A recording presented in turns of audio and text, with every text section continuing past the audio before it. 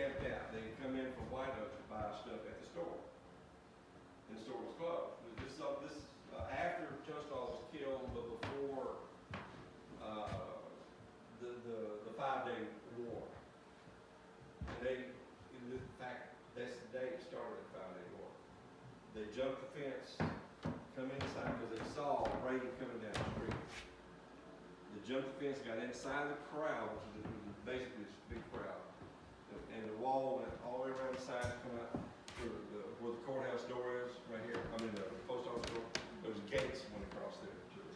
fence. But from the time they saw him until they made up their mind whether they were gonna kill him or not, because this is a spur of the moment thing, they had, this wasn't planned, this is just, we, they saw him, they wanted to kill him, so they just killed him. Well, he was down the street there by, there's a fire hydrant down there, if you look, see where that fire hydrant is, there's about where he was. And they cut out and shot him twelve times. Killed, killed Brady, shot the other guy, another one with him, who died, ended up shooting him twice, and he died too. Brady had twelve holes in him, he was dead. But that's, that's how he got killed. And it was right out here, I mean, right down the street. There was one year where there were uh, forty some odd people killed out here. And, uh, uh, some odd people died in this town. The way it goes, the way the story goes. Like three or four of them died of natural causes. Everybody else was gunned down. It's pretty wild. I don't know how true that is.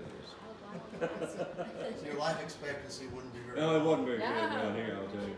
Unless No, it stayed wasn't. inside and never came out. But, but all kidding aside, it was, back during that period, it was rough around here. I bet. But you know what people don't, you, you may have, if you, if you read any of the, in- uh, information on the wall down there, Uh-huh. uh, and watched that movie, you know that there was more involved than just this little town. Yeah. It was actually the politicians out of Santa Fe who were pulling strings on everything down the street here, but not this story. Now, they didn't want this guy killed, Yeah. but, uh, it was all political, uh, there was a lot of money changing hands.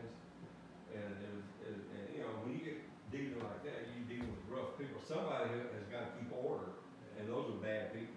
There's only, one sheriff in the whole county. Well, there was one sheriff, and he only had like four or five deputies. Yeah. And Lincoln County back then was almost as big as Brewster County is today in Texas.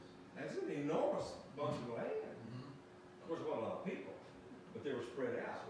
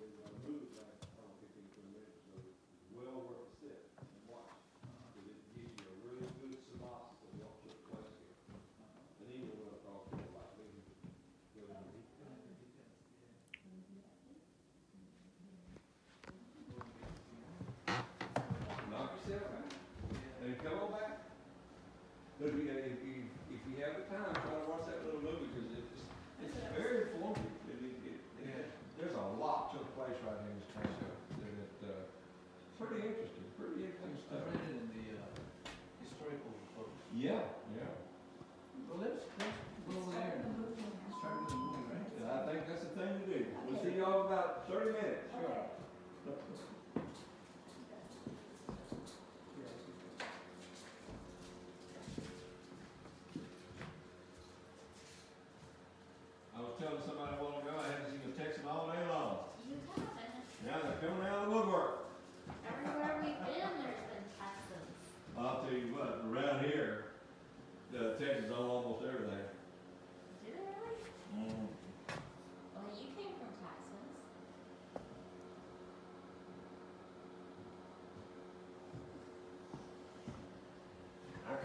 Seven years ago.